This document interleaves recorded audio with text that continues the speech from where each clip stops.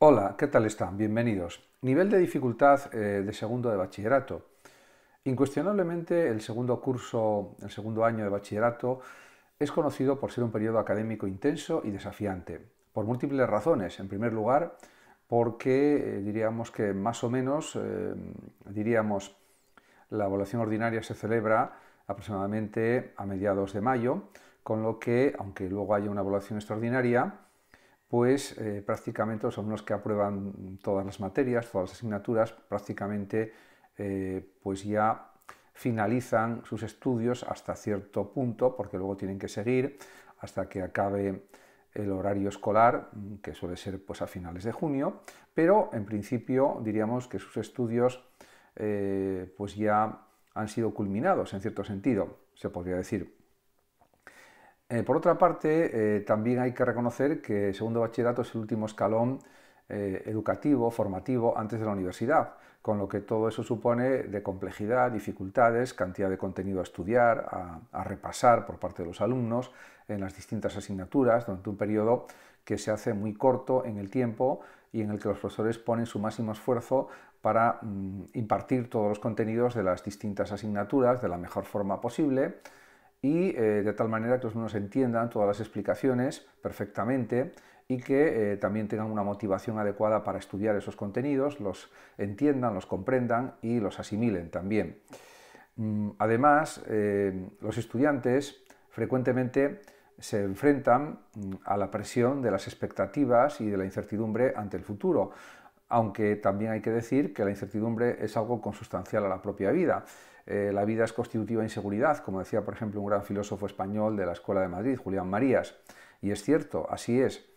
Eso no significa que no haya que eh, poner el máximo esfuerzo, eh, diríamos la máxima intensidad para lograr los objetivos propuestos en el segundo de bachillerato, que son como mínimo sacar la mejor nota posible, que los estudiantes sean capaces, etc.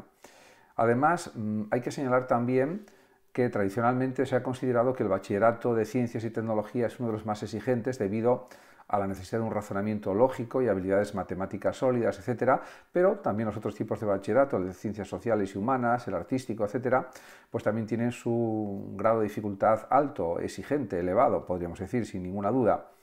Eh, pues hay materias como latín, griego, filosofía, que son especialmente difíciles para los alumnos, y otras, historia de España, etcétera,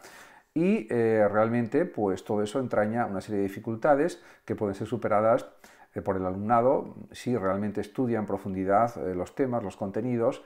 pregunta a los profesores y realiza las actividades pertinentes en cada caso, en cada asignatura. en ese sentido, los comentarios de texto, pues resúmenes, mapas conceptuales, trabajos escritos, trabajos de investigación, debates, etcétera. En definitiva, se puede decir también que la dificultad en segundo bachillerato es algo subjetivo porque depende también de las habilidades mm, de cada estudiante,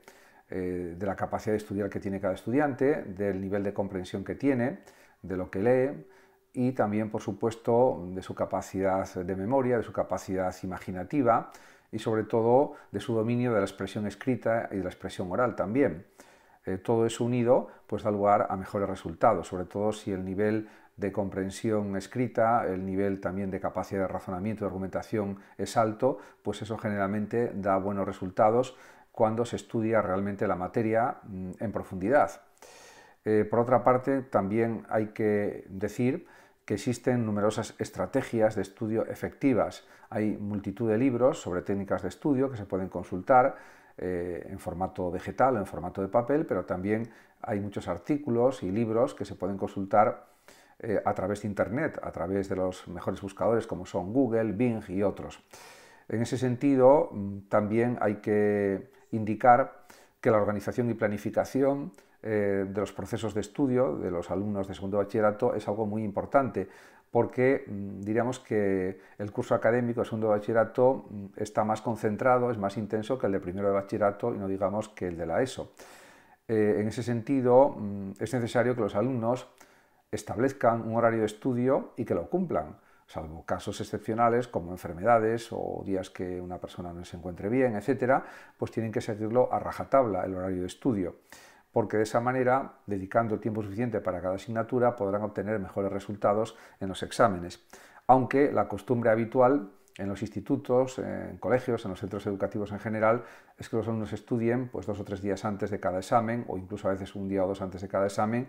y en muchos casos con eso es suficiente para que tengan buenos resultados, aprueben o incluso saquen una nota más o menos alta.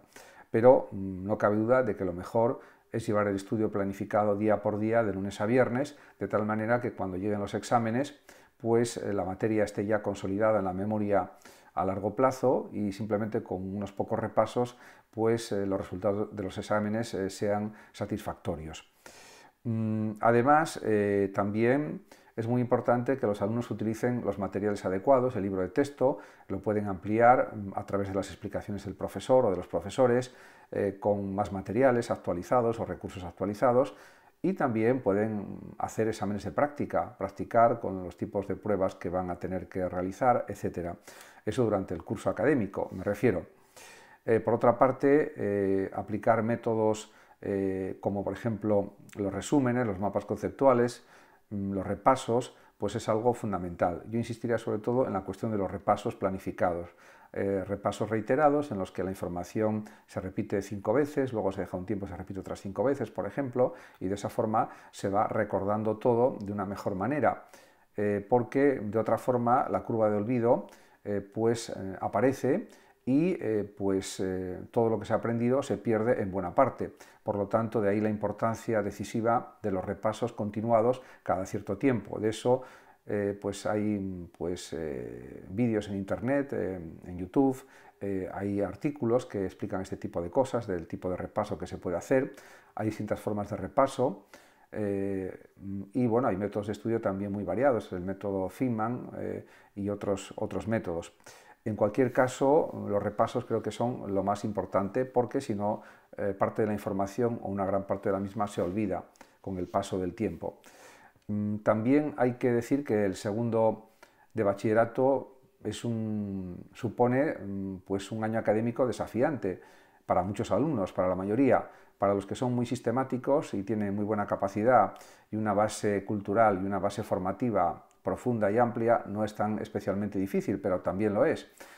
Mm, en ese sentido, el curso de segundo bachillerato pasa muy rápido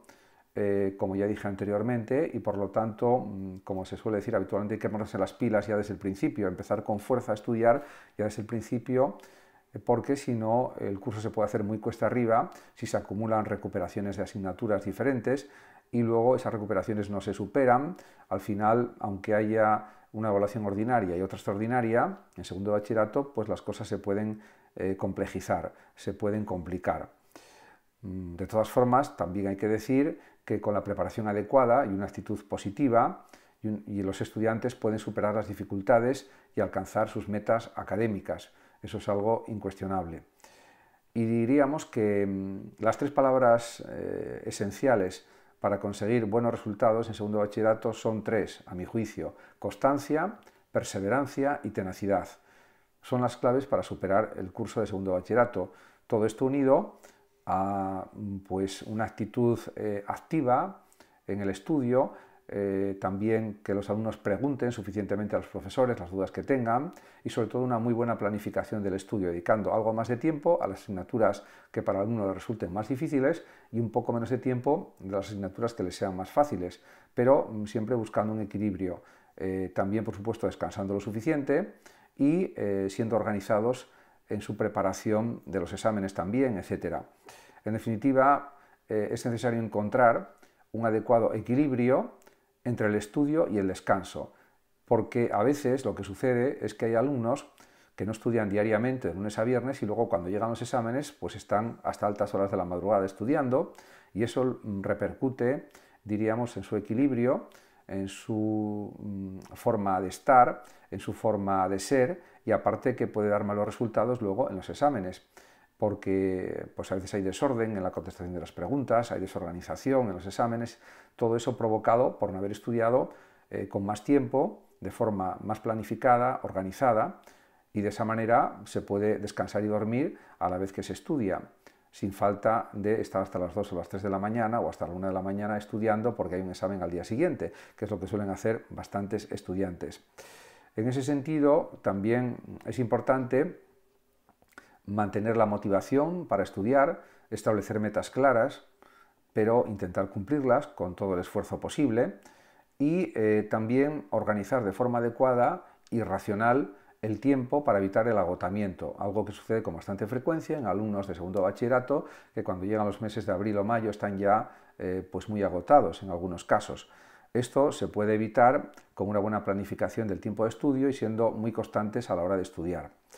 Por otra parte, también a nivel psicológico hay que decir que los alumnos mm, está bien que celebren los pequeños logros, eh, en cuanto a exámenes aprobados o superados o exámenes con calificaciones altas de notable, sobresaliente, etcétera, porque eso incrementa la motivación y hace que se sientan más satisfechos con la labor que están realizando. También hay que decir que los alumnos generalmente en segundo bachillerato se dedican solo a estudiar, la inmensa mayoría, con lo que es exigible que pongan el esfuerzo adecuado. Primero, estando muy atentos en las clases, centrándose en cada clase de cada asignatura, en lo que tienen eh, que